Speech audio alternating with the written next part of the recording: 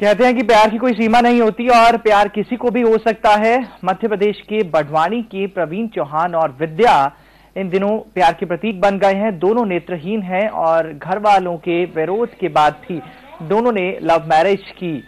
विद्या इटारसी की रहने वाली है। प्रवीण किसी काम से इटारसी अपने रिश्तेदार के यहाँ गए थे।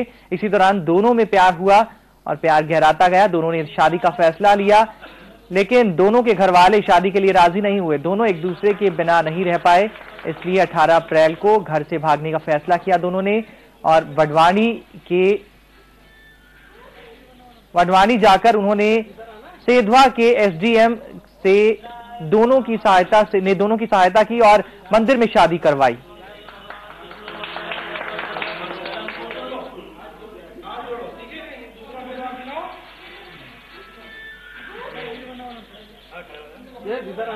इस बुलेटिन में फ़िलहाल इतना ही।